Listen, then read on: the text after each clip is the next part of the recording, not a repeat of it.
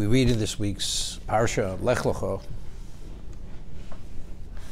uh, how Avram was told by God to leave his land, his birthplace, and his family, and to go to the land which he would be shown.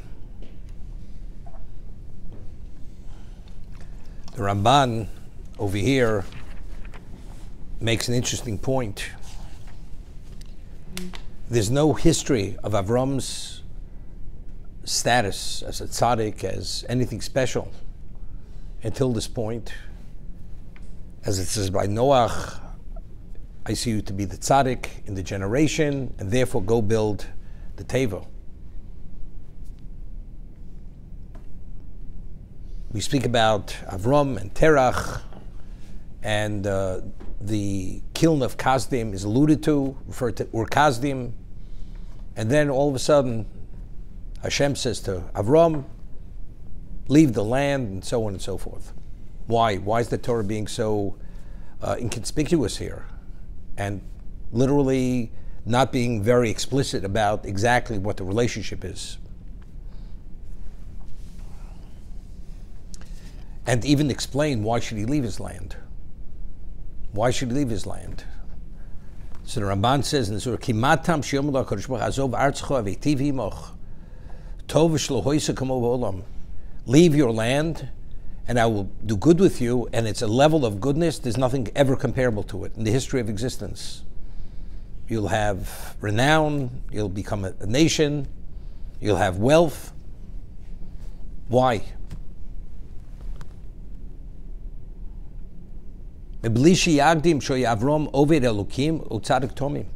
Without predicating on, because Avram served God, who he was this perfect tzaddik.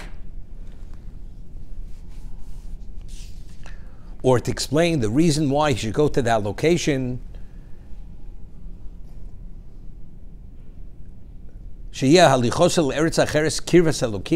That he should get closer to God. So he explains the Ramban. He says the the members of the community were Kazdim.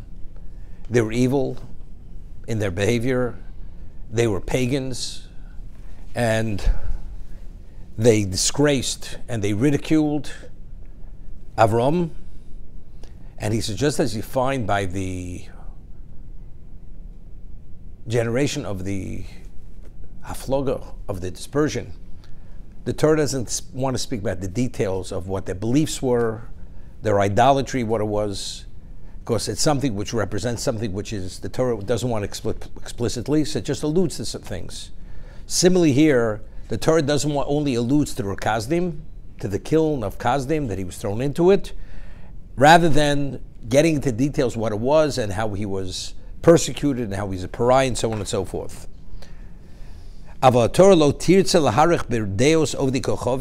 Over the avodah there, all the various debates and disagreements that Avram had in theology with the members of that community. Kashe Kotcher B'dor Enosh Svrosam Bavodazor Shechichu. Torah doesn't want to discuss it. Therefore, the Torah doesn't really address it, and it begins with the Lech Lecho. Okay? It's interesting. We read in Pirkei Avos that there were 10 generations from Odom to Noach. And they were all they enraged God, they angered God, and God was patient with them, with them until it reached a point he destroyed, destroyed them with the great flood. And then there were 10 generations from Noach to, to Avram. And again, similar behavior, identical behavior. They angered him, and God was Erech Apayim. He was he had patience with them, and then it concludes, and Avram kibul schar kulam. Avram received reward the equivalent of all ten generations. He didn't destroy them. So Rabbeinu Yonah in his commentary on Pirkei Avos explains that it's only worthwhile for God to keep the world going if there's a balance of good versus evil. Noach, his mission was to bring the people back to do tshuva, to, to repent. He failed, did not succeed. But factually, if he didn't succeed, the world itself was off balance. Evil was so weighty on everything, and Noach, in his own right, was not able to compensate for the lack, for the void, for the vacuum that was created through this evil.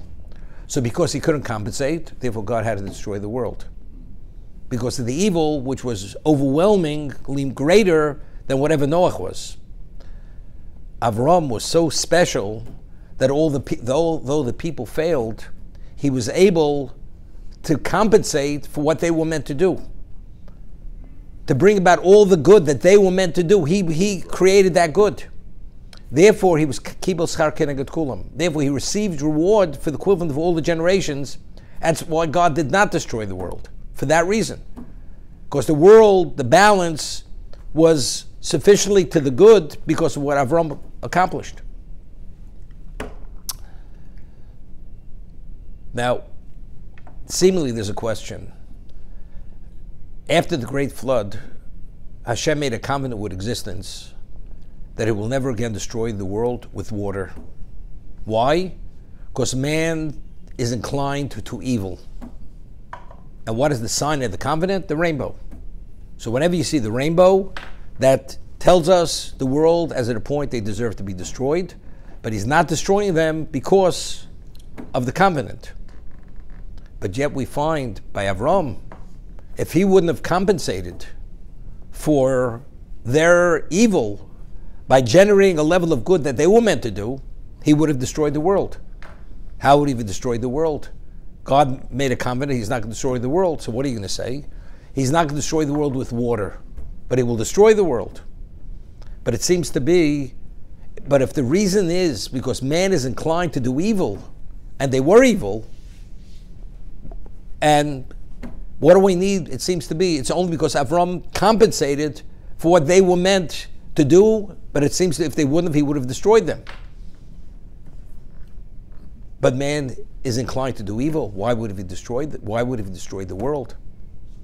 If Avram wouldn't have compensated for what and taken up the slack, he would have destroyed the world. But what about the reality? Man is inclined to do evil. Even if he wouldn't have, God said he wouldn't destroy the world. What difference does it make? Water or any other way? We find that Sinai, Hashem put a mountain over our heads. And he said to us, either you accept my Torah, if not the two versions in Chazal, you will be buried under the mountain, or the world will revert back to pre-existence. The world will revert back to Tov this, this chaotic state of non existence. That means God will destroy the world. If the Jews don't accept Torah, He will destroy the world. But God said He wouldn't destroy the world. So, how do we reconcile it? The same question as Avram. Now, why did God create existence? As it says, it's alluded to in the first pasuk, Bereshis bara lokime seshmayim for the sake of Torah, God created this world. This is the setting, as it says, alma. the blueprint for existence is the Torah. The testing grounds is existence. That's where man is tested. Do you succeed? Do you fail? Torah. Which people have relevance to Torah? Only Klal Yisrael have relevance to Torah. Bishul Yisrael Shenikarashis. So that that God will destroy the world if we reject the Torah, it's not punishment. It's because the objective of purpose cannot be addressed, cannot be met. If the purpose of existence of creation is only Torah and the people who have relevance to Torah, and the people have relevance, so they reject it, so what's the point? There's no point going further. Because creation was only for the sake of Torah. And if there's no people who could live by the Torah because they reject it, if that's the case, God ends existence. Not as a punishment, as it had, no longer has value. Avram Avinu, if he wouldn't have taken up the slack, what would have been? Now, what happened? It says, Basar Nishon Tisa Hashem es Avram. Avram was tested with 10 tests. That was part of his perfection. He took up the slack for the 10 generations. part of that, of generating good, was the ten tests. Why is Avram the founding father of the Jewish people? Because he, he actually was able to withstand the ten tests. If he would have been able to stand, withstand the t- ten tests, he wouldn't have been the founding patriarch of Klal Yisrael. If that's the case, so if Avram is not the founding patriarch of Klal Yisrael, of the Jewish people, there is no Jewish people. So again, if there's no Jewish people, why is God ending the world? Not as a punishment. Again, because the existence value is only for Torah. And Torah only, only has relevance if there's a Klal Yisrael. If there's no Jewish people, there's no, there's no purpose in existence. So it's not as a punishment. That that he destroyed the ten generations from Adam to Noach is because that was a punishment. They were evil. That's why he destroyed them. It's not because existence didn't have value. It'll have value in the future. But now that we're coming to Avram Avinu, and he is supposed to be the founding father of Klal Yisrael, and if he should fail, that means if he fails, that means he's not worthy to be the founding father. So if that's the case, where does it go? It goes nowhere. It goes nowhere. God ends, ends existence. There's no longer existence. There's no purpose in existence. It says, therefore, it's not contradictory. Mm-hmm. As punishment, man is evil. God will not des- destroy the world because of man's evilness. But God will end existence if existence no longer has value. Because its value is Torah and that there should be a Klal Yisrael. And if there's not going to be a Klal Yisrael, then it has no value because there's no people who are at a level who could live within the guidelines and conform to Torah itself. There's a Gemara. The Gemara tells us that Mordechai, who together with Esther brought about, galvanized the people to fast, to do tshuva, and there was a miracle was not was not a revealed miracle. It was concealed within nature. They we destroyed our enemies rather than enemies destroying us. We had the upper hand. And Esther revealed to Achashverosh, her husband, the king, who was Mordechai. He was her uncle. He was appointed to become the viceroy. He became the viceroy of the Persian Empire. After he became the viceroy of the Persian Empire, the Megillah tells us he was he was Rotzui Lerovechov. He was only accepted by the majority of his colleagues, of his peers. Before he became viceroy, he was Rotzui Lecholechov. He was accepted by all his peers. Afterwards, because he became viceroy and he wasn't able to study as much because he was preoccupied with his responsibility. As viceroy, he was only accepted and valued by the majority of his colleagues, but there was a minority who rejected him because he wasn't involved as he was involved before. So the Gemara draws from this, but you say, how could you have a claim against him? It's pikuach nefesh. What was at stake? The survival of the Jewish people. There was a decree, lahashmid arug Not a single Jew would have been left. So if that's the case, why was he rejected by a minority of his colleagues? It was only the Rov Echad, but there was a minority who rejected him. So the Gemara tells us, we see from here, that Gedola Talmud Torah, Yosem Hatzolos Nefoshos, that the study of Torah has greater value than saving a life, saving Klal Yisrael. If the cost factor is that you don't study Torah, then it wasn't worthwhile. It's only because, and we see it because otherwise it's unjustified. He saved, he saved the day. So from here we learn that Gedolat's Talmud Torah miatzos nefoshes. Greater is the study of Torah than saving a life. How do we understand it? We know that the Torah tells us that if there's ever a question of human Jewish life or the Torah itself, Jewish life supersedes Shabbos, Yom Kippur, anything except for the three cardinal sins. It supersedes it. So why was he rejected by a minority of his peers? Now, Torah says, You should live by my Torah and not die as a result of my Torah. Therefore, human life, Jewish life supersedes the Torah. Now, But why does the Torah want you to live? What is the value of Jewish life? You know what the value of Jewish life is? To study the Torah. That is its value. But if the ultimate end is that there is no Torah, what's the value? The reason why you supersede the Shabbos Yom Kippur, because if you live, you can fulfill the Torah. If you die, you can't. So therefore, human life, Jewish life has greater value. But if the end of the day, after I save you, there is no Torah, because you had to assume duties which doesn't allow you to study, then you failed. Then there's a negative end, ending over here. Therefore, he was rejected by a minority of his colleagues for that reason. Again, what's the objective of creation? If God forbid, if there would be no people studying Torah, God says existence has no value. There's a famous word from Chaim Volozhiner, Nefesh Chaim. If there should be one moment that there's no Jew anywhere in existence studying Torah, the world would instantaneously revert back to pre-creation. Why? Because it says in the pasuk, the Navi says, "Im lo brisi yom veloilo." If my bris, if my covenant, which is Torah, is not in effect day and night, unceasingly, minimally, there has to be one Jew studying Torah.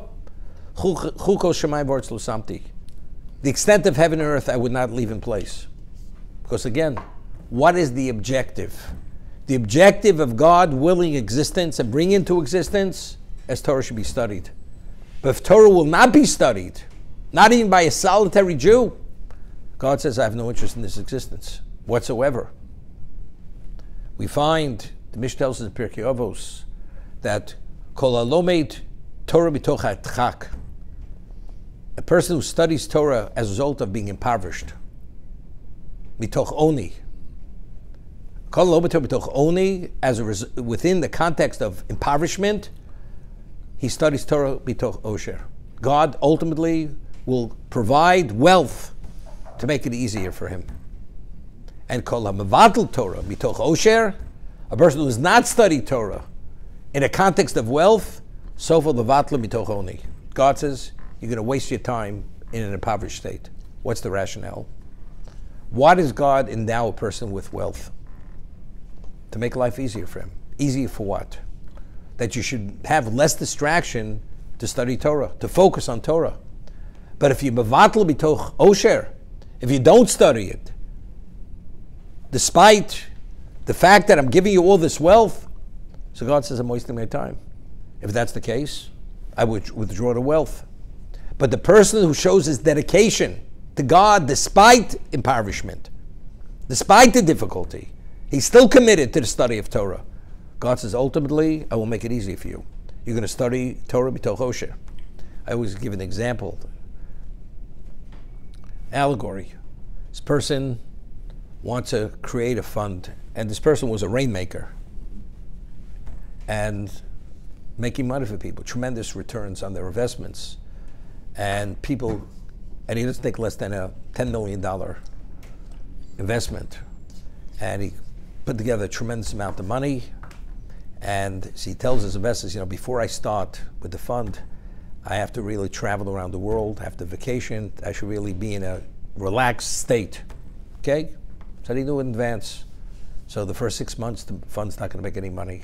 And it'll come down because he has to cover his traveling expenses and whatever, whatever the cost is.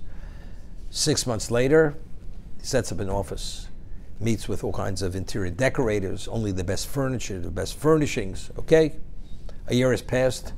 The investors call, uh, say, how's, how's our investment doing? Well, you realize it's down about 5% because just the cost of the travel and the office and this, I haven't had time. What else? Okay, another few months passed. How's it doing?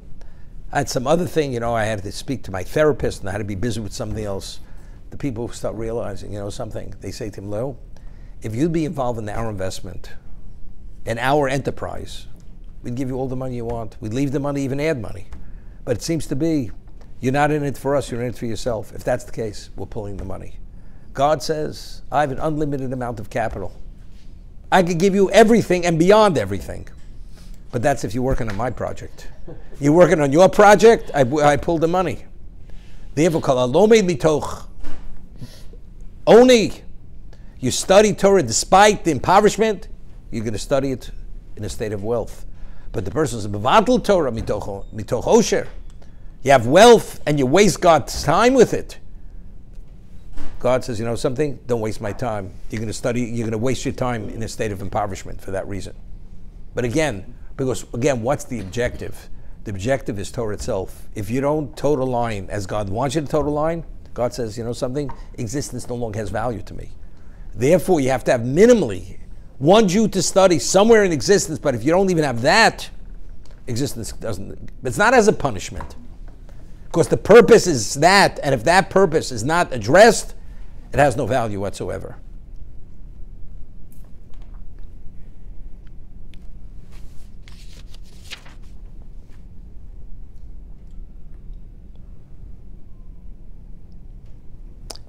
Hashem says to Avram, if you go to the land, leave your homeland, go to the land I will show you, the Eschol Godel, I will make you into a great nation. Agadlo Shmecho, I will make your name great. So seemingly, it would seem to me, I will give you renown. Here, you're a pariah, you're hounded, you're despised, you're persecuted, you're discriminated. You go there, you will have renown. Seems to be a little difficult. I mean, when Chazal go and they list the three most humble people who ever lived, who was the most humble person who ever lived? Moshe Rabbeinu, which the Torah attests to that. The second most humble person was Avram. He said, Anochi Ofav What am I? I'm dust, I'm ash. David says, Anochi Tolev I'm a worm. I'm not a person. A man who's so humble. He's running away from the limelight. I will give you renown. And what's the value of the renown? He's, he's, he's humbled. He's an onof. Why is that something? Why is that an incentive? Why does that incentivize him?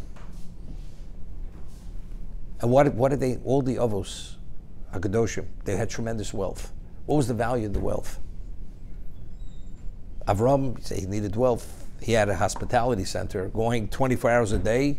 And it's the Gemara tells us that the banquet of, of Shlomo Melech, at the height of his power, was not the equivalent of what Avram fed his guests. That was the that was the dimension of hosting. Did a tremendous amount of money for this. Okay, and what about renown? Renown. It's not for himself. If a person has renown, automatically people are attracted to you.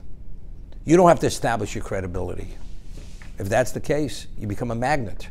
You become a, a magnet for what? For being the representation of God's presence in this world. So Avram Avinu, this was everything. It had nothing. It's not to give him honor, honor for him. By him being having renown, therefore he becomes an effective person, a more effective person. That was the value of the renown. But Rashi cites the Midrash. Agad means Rashi says,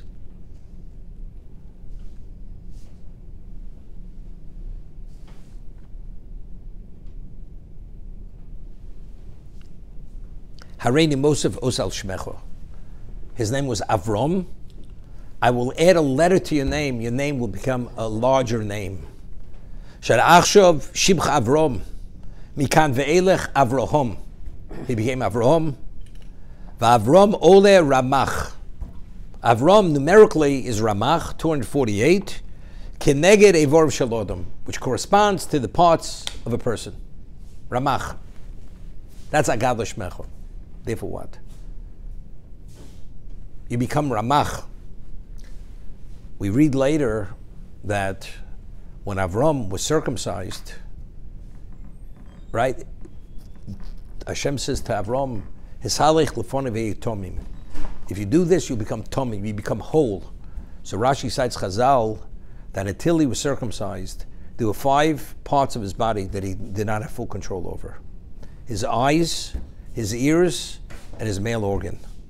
Once he removed the foreskin, which is the circumcision, which is the milah, he became Ramach, he became Avrom. He was in full, total do- dominance over every aspect of his physicality. So that's Ramach.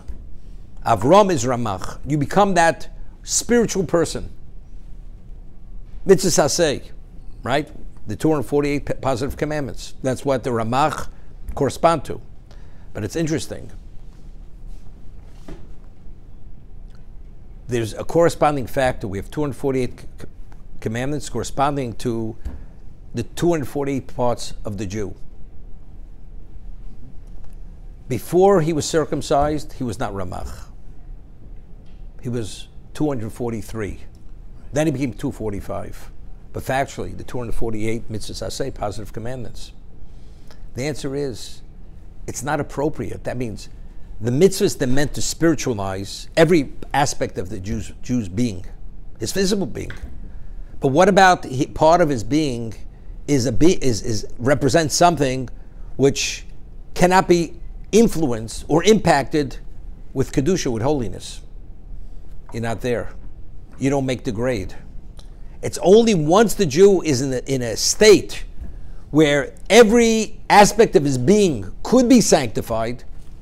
Now you're ready. Now you're ready to assume the Ramach, the 248 mitzvahs I say, positive commandments. Okay? Now, it's interesting. There's a Maharal, which we once mentioned.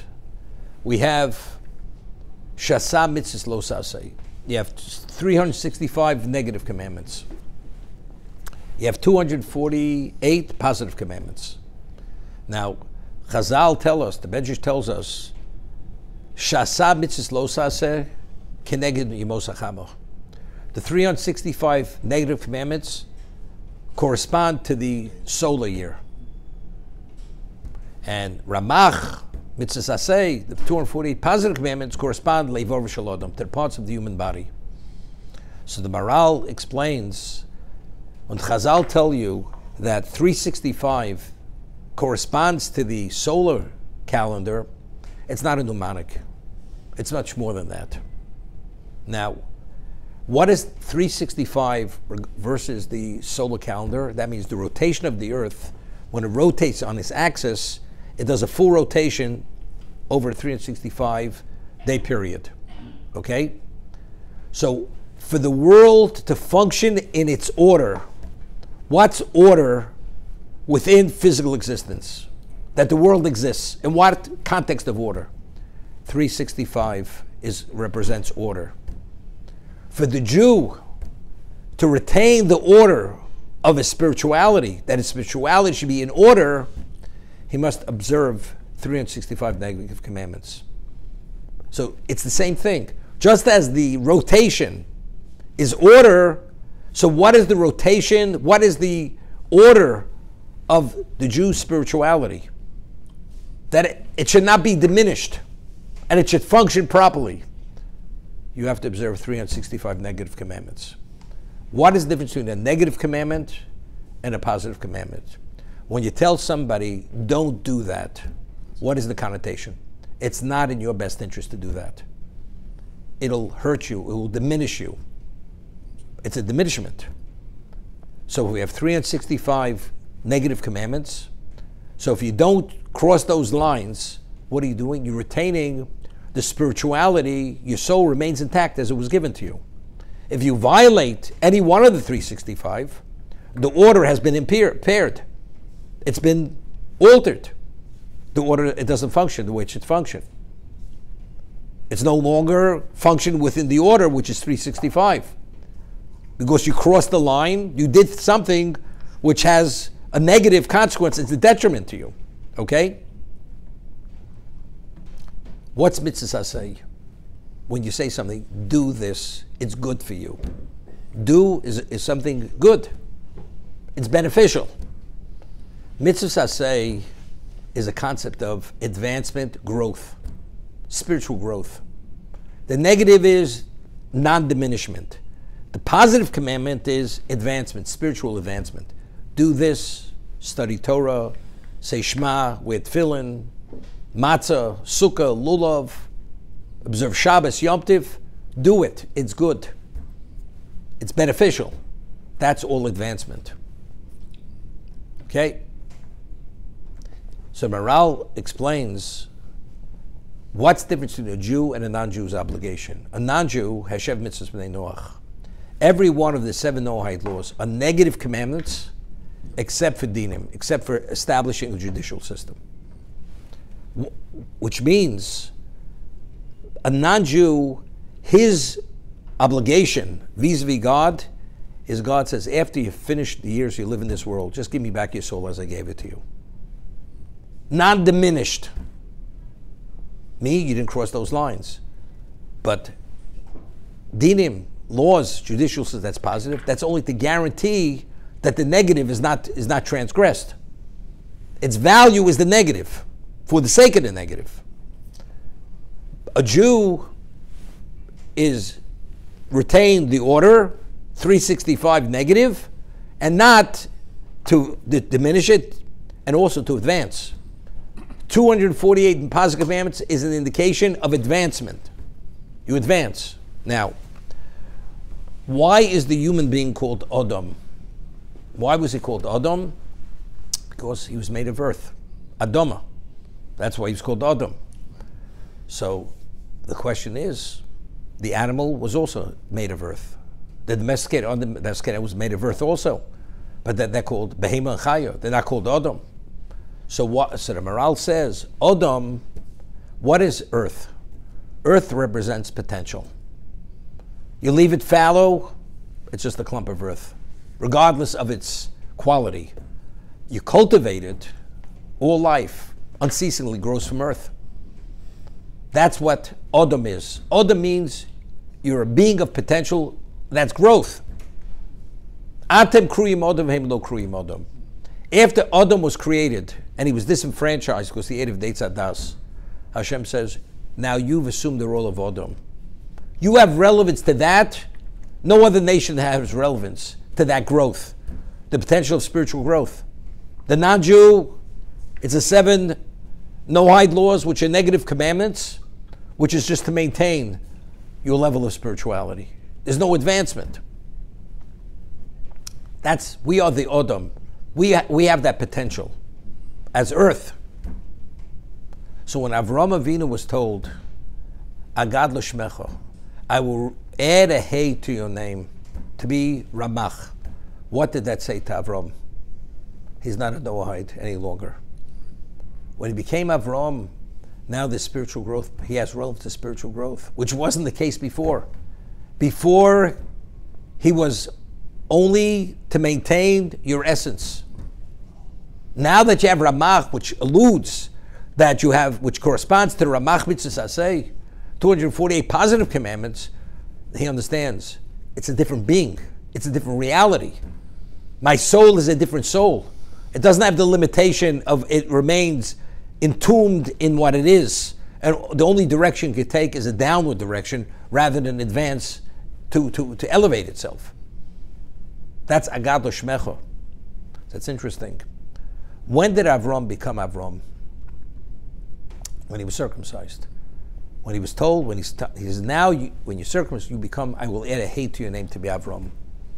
The Rachaim HaKodesh writes in Pashas Tazria that Adam, when he was created, he was created without a foreskin.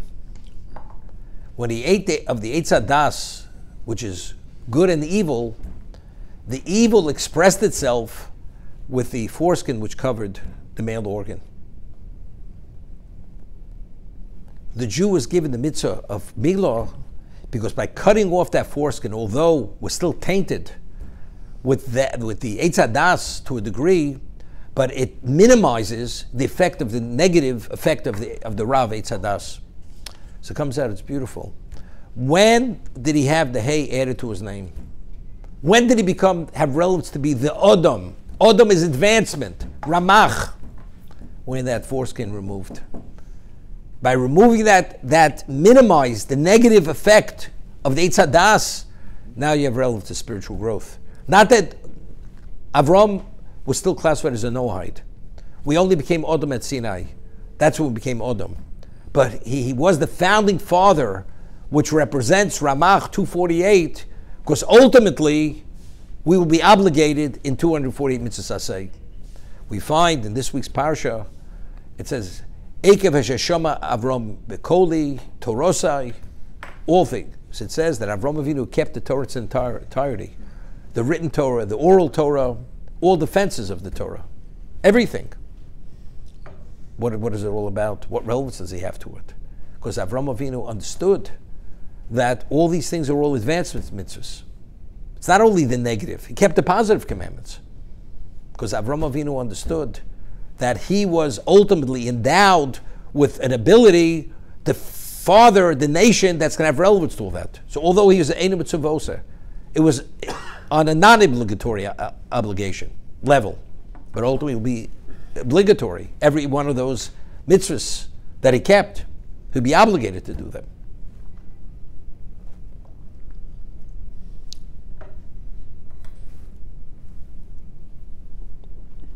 There's a midrash that tells us, based on the Gemara, when Hashem created the world, which letters, we discussed it the other week, did Hashem, the spiritual within which letters did God create the world? So the Gemara tells us that with the letters Yud and Hey, He created the world to come, and the Hey, the physical world. Because David Mel says in Tilim, B'ko Hashem Tzura Lomim, with Yud K, the name of Hashem, Yud K, He created the worlds, the spiritual world with the spirituality of the letter Yud, and the physical world with the spirituality of letter Hey. So all existence came about through what? Through the letter Hey. Hashem says to Avram, Avram says to God, what's the good of all the blessing? I'm not going to have a child because it says in the stars, Avram lo ben. Avram has no child, he says. Maybe Avram ein lo ben, Avraham yesh lo ben. When I add the hey, you will have a child. You'll be able to father a child. Why? So what is it? Just a tag? I'm just going to put just a new nameplate on you. What is it?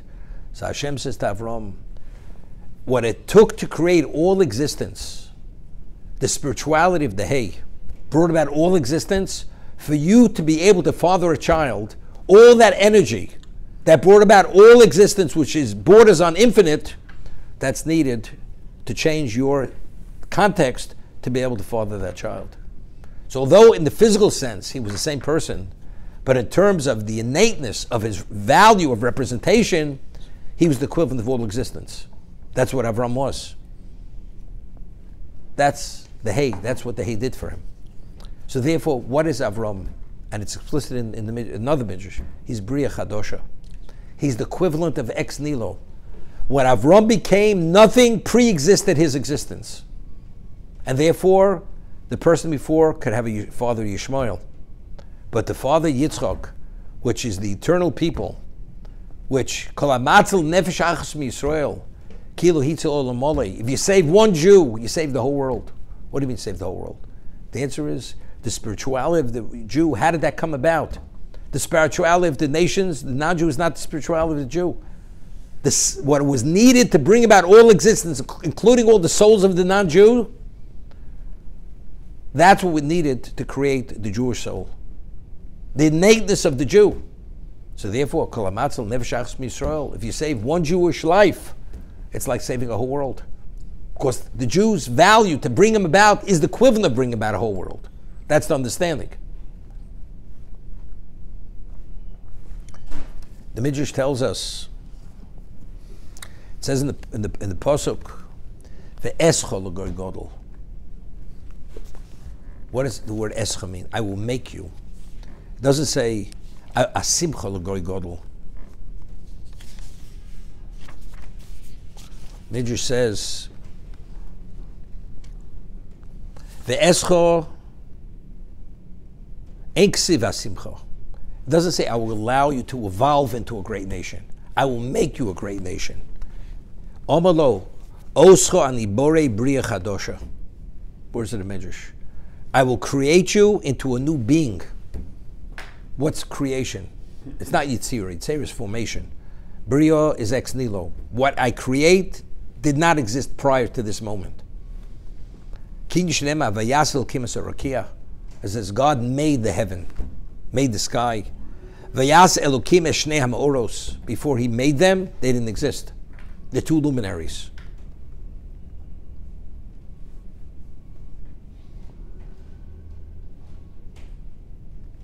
Omre Pinchas HaKoin Imosai Osa Baruch Hu Es Avrom Godol. When did Avram become that great nation? This is V'escho Mishakibli Yisrael Satorah. When the Jews received the Torah at Sinai, Shekain Moshe Amalem Migoy Godel. That's when we became the Goy Godel. What does that mean? When did we become the Odom? When did the, the, the actual transformation that we went from Ben Noach to Yisrael? When did that happen? That happened at Sinai. And therefore, then we became the Ramach people. That's Ramach. Ramach has relevance to every aspect of our physicality, has relevance to a mitzvah, corresponding to 248 positive commandments. That's what we're talking about spiritual growth. But you were a Noahide. The answer is that who the person who was Noahide was not me. That's a different being. I'm a different being today. I'm a Bria Chadosha. It's a new creation. That's what I am.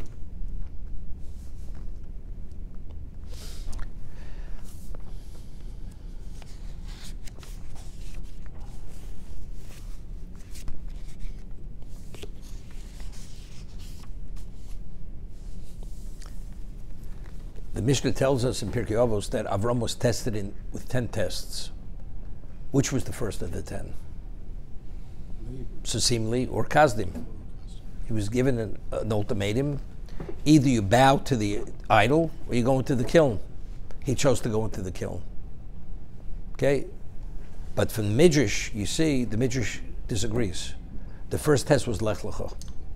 Lech Lecho was the first test. It says,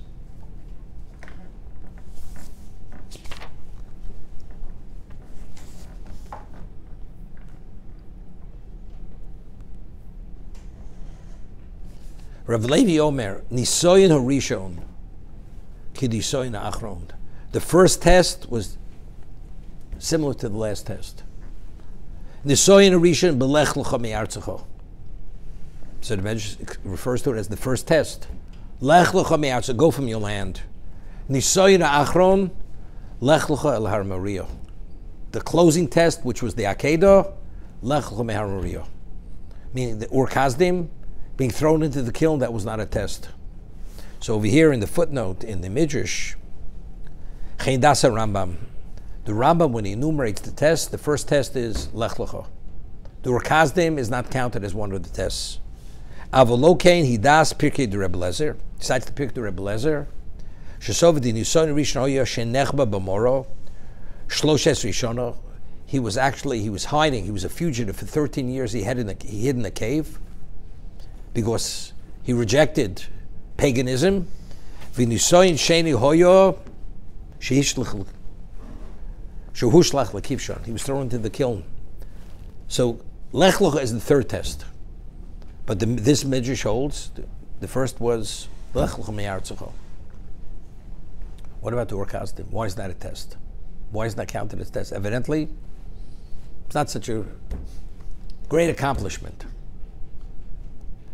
We once explained that Avram Avinu was thrown into the kiln. Why, why was he thrown into the kiln? Because Avram, Medj tells us a story, his father was an idol maker, an idol manufacturer. And Avram was asked to mind the store. His father comes back, every idol was smashed. So his father says to Avram, What happened? He says, I'll tell you what happened. The somebody had brought a gift for one of the smaller idols, and the idol, small, the larger idol was upset, and all the idols start fighting for one another, and they each one smashed the other one to smithereens. That's why they were all broken and they're shattered. So Terach says to his Avram, "You're talking to me? You know, I'm, I'm not, I'm not an imbecile. Could this big. They're only stone and plaster." What do you mean they were fighting? He says, "Father, listen to your own words." They're nothing. What do you believe in? His father became enraged. He took him to Nimrod, who was the king, and said, My son is a blasphemer, chas v'sholem. He has to, he deserves to be put to death. His own father brought him to be put to death. Nimrod says, You know, I'll give you a choice, an ultimatum. You bow, you live. You don't bow, you go into the kiln. Avram says, I'm going to the kiln. How could Lech Lecha be a test? He was in the cave for 13 years because he was a fugitive. The members of his community wanted to kill him, torture him to death. Hashem says, you know, leave your land, leave your family, leave your countrymen, go to the land I will show you. There's no love lost between Avram and these people. These people despise him to his core. But why is that a test? But that's a test. That's a test. The Ur was not a test. So what we explained in the past was that Avram Avinu had the ability to change people, lives. As it says, when he went to Canaan, he took Hanefesh Osam Charon. All the souls that he made in Choron, he converted thousands and thousands of people to monotheism. And they all came with him. They came with him from Choron, they went to Canaan. As it says, Avram Agarius Anoshim, Vesar Agarius Anoshim. He converted the men, and Sora, Sorai converted the women. He had a tremendous charisma, power, genius impact on people. He held. Why did his father inform on him? Because his father is misinformed. But if he'd be able to spend some time with his father, with time, he'll, he'll teach his father the way, the, the correct belief. God says to Avram, and the Midrash says, it's hopeless. You're wasting your time. These people will never change. You know what it means? Avram believes that ultimately they will change. He could change them. Avram says, Hashem says you're at a dead end. It's beating a dead horse. No value whatsoever. You're going nowhere. What should have Avram said? And the Medrash says, what is it the equivalent of? If you take the, mo- you take the most fragrant perfume and you open up the flask and you put it in a cemetery, is there anybody there who could benefit from the, from the fragrance of that special perfume? If you want people to benefit, he says you take it from the Bein HaMesim, bring it Bein HaChayim, bring it among the living. They could benefit. Choron is a Beis HaKvaros. It's, it's, it's a cemetery. These people have no capacity whatsoever to be affected. You're wasting your time. Go to the land I will show you. That's where you're going to succeed and you're going to thrive. What should have Avram said to Hashem? Give me one more try. One more try. Avram didn't say a word. Hashem says it's hopeless, picked himself up, he left. Did not question. So it wasn't a question of doing or not doing. It's unswerving faith and trust Hashem says that, I go. Hashem says, bring your child who you love that was born to old age as a sacrifice. He could have asked the question, which was the Nisayon, which was the test, but you promised me that the son's the future. Stars of the heaven, everything. Now you tell me to slaughter him. Avram didn't ask the question. Who am I to ask? He was totally negated. He suppressed the question. So every test we go through, it was a question, do you ask the question? Don't you ask the question? It's not a question. Do you do it? Don't you do? Going to Rakazdim, I will not bow. I'm going to die. It wasn't a question. It wasn't a belief issue. Therefore, that's the reason why that's not counted as one of the tests. The test is only within the context where you could have asked, and because you so negated Hashem, who am I to ask? That's the reason why it's not counted. Okay, and that's the midrash. The first Nisoyan, the first test was Lech Lecha. The closing test, Lech Lecha El Eretz for that reason. Pikul Rebbe Lezer says, no, a test is a test. Maybe a different dimension of test, different type of test. So therefore we start from the Urkazdim, and that's we count forward through the others for that reason.